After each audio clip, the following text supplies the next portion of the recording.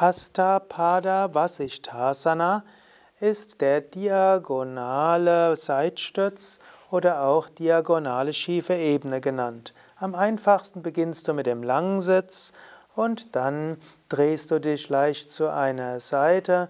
Zum Beispiel, du hast die linke Hand auf den Boden, du fasst dann mit der rechten Hand an die Außenseite des linken Fußes und streckst dann das Bein aus.